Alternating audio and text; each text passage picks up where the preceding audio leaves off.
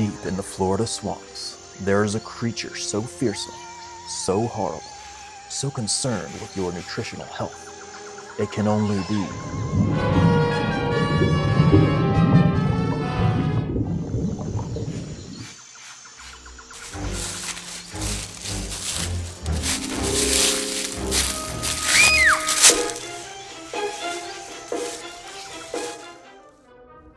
The creature seems to be offering up some type of black legume. They provide the human body with iron, folate, increased heart health, and a substance we scientists refer to as fiber.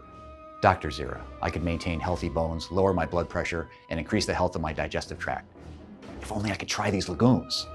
Don't be a fool, Cornelius. If it means getting more fiber and having a healthy digestive system,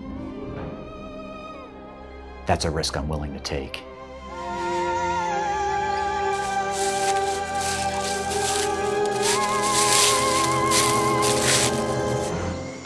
He just wanted me to have some black beans.